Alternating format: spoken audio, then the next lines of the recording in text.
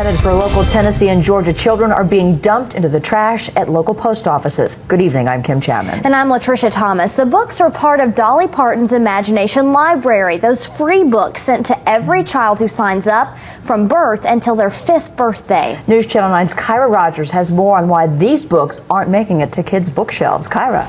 Latricia Kim, the books that are hitting the trash bin are books that have been returned to the post office because they aren't deliverable. At many local post offices, the books were held until volunteers could come pick them up. But that's not the case anymore.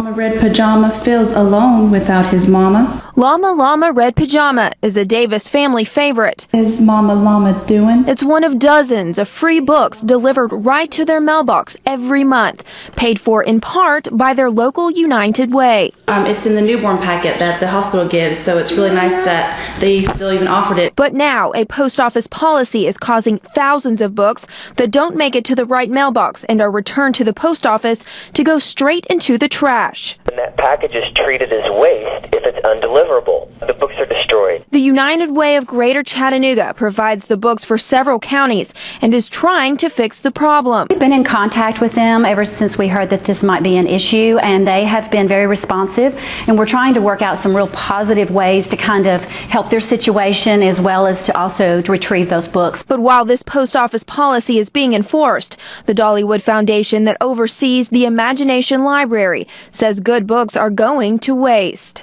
They're throwing brand new children's books bought and paid for by local people who are, you know, really trying to do a good thing. Something that the Davis family hopes never happens to their children's books. My daughter is nine and she's read more books already than I think I read my whole my whole time in school, even college.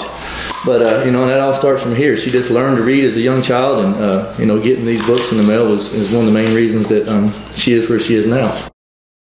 The Dollywood Foundation is hoping to work out a policy with the National Post Office to get the undeliverable books back in the hands of children. Kim. Kyra, thank you very much.